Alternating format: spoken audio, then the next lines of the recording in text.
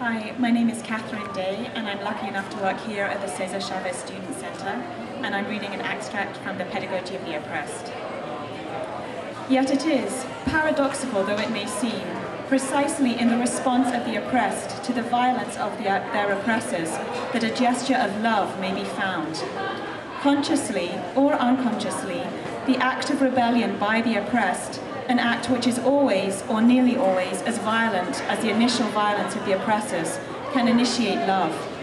Whereas the violence of the oppressors prevents the oppressed from being fully human, the response of the latter to this violence is grounded in the desire to pursue the right to be human.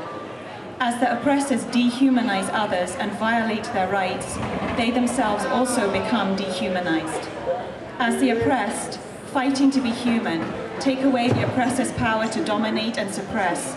They restore to the oppressors the humanity they had lost in the exercise of oppression.